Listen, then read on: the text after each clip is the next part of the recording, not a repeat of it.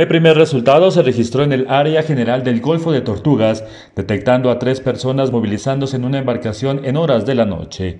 Al notar la presencia de las unidades de la Armada Nacional, los sujetos decidieron abandonar la motonave en movimiento, lanzándose al agua y de inmediato unidades de guardacostas iniciaron la búsqueda de las personas, logrando rescatar a dos de los hombres e inmovilizando la embarcación en donde en su interior fueron hallados 38 costales con 1.264 paquetes prensados que contenían marihuana. Pese a las labores de búsqueda en el área de Buenaventura, aún las autoridades no han logrado encontrar al tercer tripulante.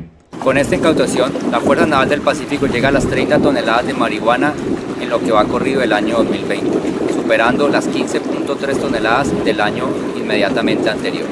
Seguiremos de manera sostenida combatiendo el flagelo transnacional del narcotráfico en esta zona del país. En un segundo hallazgo, unidades de la estación de guardacostas de Tumaco, con el apoyo de la unidad de flote ARS Nariño, localizaron 22 costales flotando a la deriva en el área general de Boca Cajambre, Buenaventura, Valle del Cauca.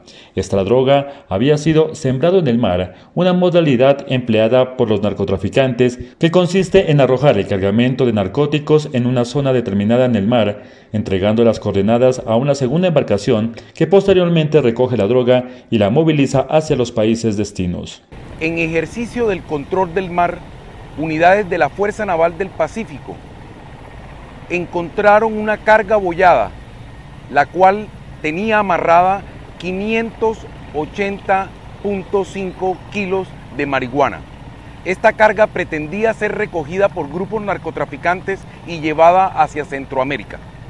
El valor de este alijo tendría un costo aproximado de 2.8 millones de dólares.